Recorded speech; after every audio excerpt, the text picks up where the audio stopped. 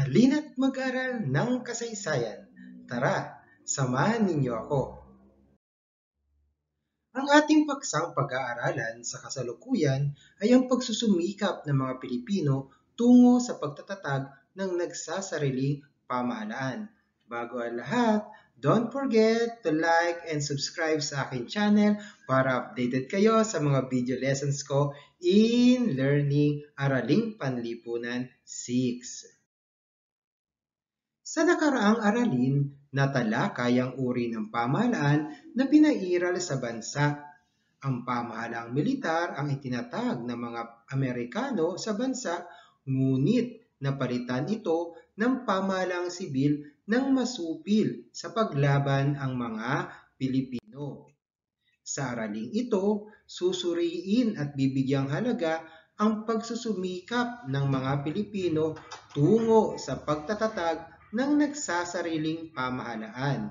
Sa pagtatapos ng aralin, inaasahan na matutukoy mo ang mga batas pangkalayaan tungo sa pagtatatag ng nagsasariling pamahalaan. Narito na ang mga batas na may kinalaman sa pagsasarili ng Pilipinas. Una ay ang Batas Cooper o Philippine Organic Act of 1902 Batas Jones o Philippine Autonomy Act of 1916, Batas Hair Hose Cutting, at Batas Tidings McDuffie.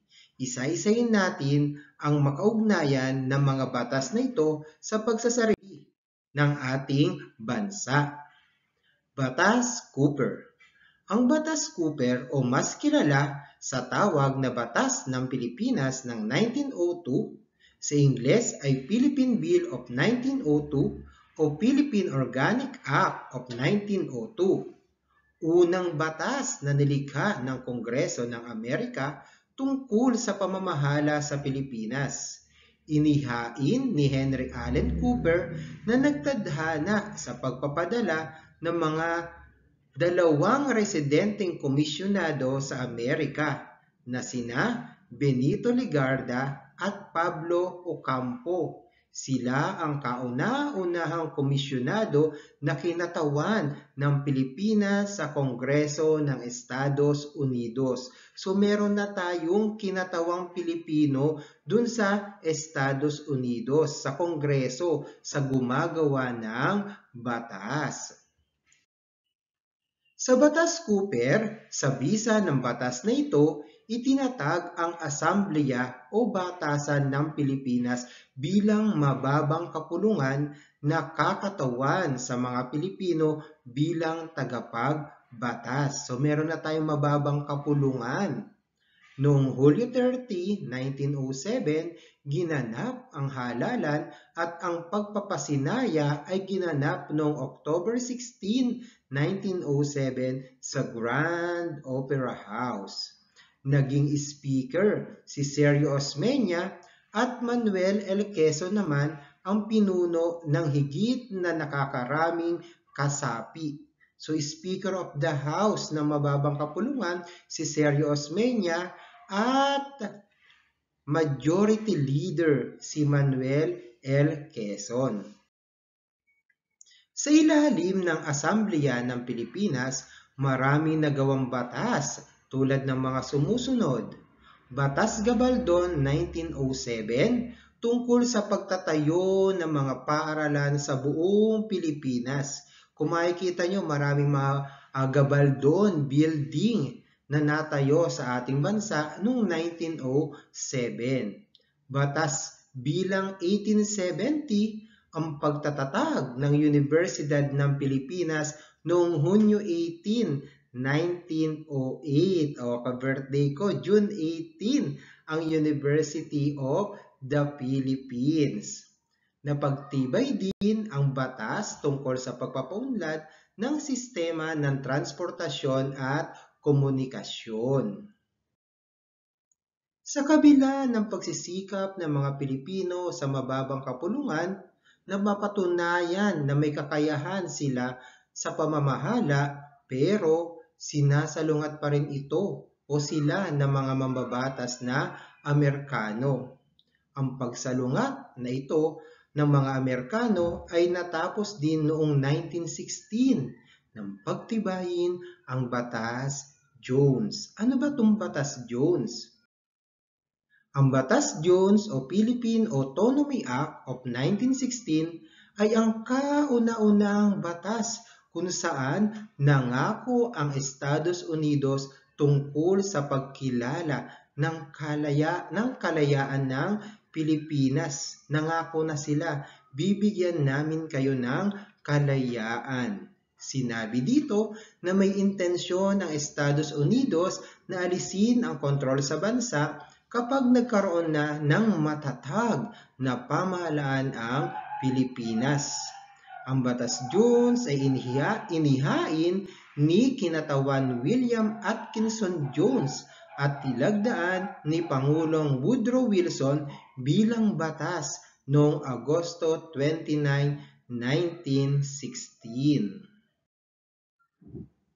Sa ilalim pa rin ng Batas Jones, itinadhana ng batas na ito ang pagkakaloob ng kapangyarihang pambatasan sa dalawang kapulungan.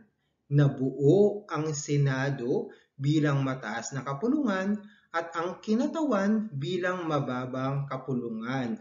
Kung sa unang batas, sa Batas Cooper ay mababang kapulungan lang, dito nagkaroon na tayo ng mataas na kapulungan si Manuel L. Quezon ang Pangulo ng Senado at si Sergio Osmeña Sr. naman ang Speaker ng mababang kapulungan.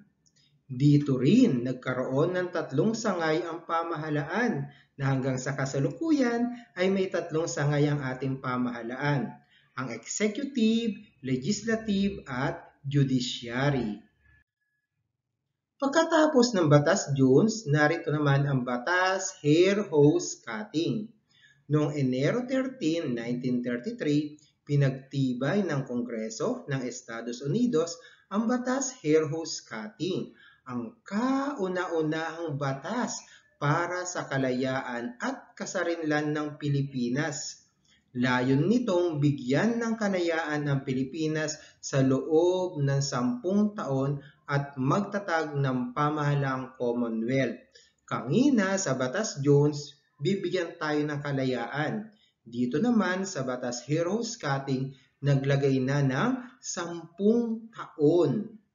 Ipinangalan sa karangalan ng tatlong may panukala ng batas na sina Butler Hare, Harry Hose, at Bronson Cutting. Pagkatapos, nagkaroon naman ng tinatawag na Batas Tidings McDuffie, kilala rin bilang Philippine Independence Act of 1934. Ang batas na ito ay akda ni na Senador Millard Tidings at Kongresista John McDuffie para sa pagsasarili ng Pilipinas. Ito ay nilagdaan noong Marso 24, 1934 ni Pangulong Roosevelt. Noong Mayo 1, 1934, tinanggap ito ng lehislatura ng Pilipinas. Ang ilan sa nilalaman ng Batas Tidings McDuffie ay pagtatakda ng sampung taong panahon ng transisyon ng mala sariling pamahalaan na tinawag na pamahalang Commonwealth upang ihanda ang bansa sa pagsasarili sa Hulyo 4, 1946. Ang batas Heroes Cutting na sinasabi dito na kinopya ang batas Tidings McDuffie, ah, kinopya ng batas Tidings McDuffie ang batas Heroes Cutting. Pero may pakakaiba sila dahil dito nagkaroon na ng eksaktong petsa ang kalayaan ng Pilipinas, Hulyo 4, 1946. Paggagawad sa representasyon ng Pilipinas sa Estados Unidos sa pamamagitan ng tanggapan ng Pilipinong Residenteng Commissioner at mga Estados Unidos sa Pilipinas sa pamamagitan naman ng Amerikanong Commissioner. At paggagawad ng otoridad o kapangyarihang kumbensyon upang bumuo ng saligang batas ng Pilipinas. Magkakaroon na ng saligang batas ng 1935. Mga misyong pangkalayaan Nagpasa ng resolusyon ang Asambleya ng Pilipinas noong November 7, 1918 para sa pagtatatag ng isang komisyong pangkalayaan na magpupunyagi para sa pagkamit ng ganap na kasarinlan. Ang pagpapadala ng misyong pangkalayaan sa Estados Unidos ay inirekomenda ng komisyon. Ang unang misyong pangkalayaan na binuo ng 40 na kasapi ay pinamunuan ni Manuel L. Quezon na umalis patungong Estados Unidos noong Pebrero 23, 1919.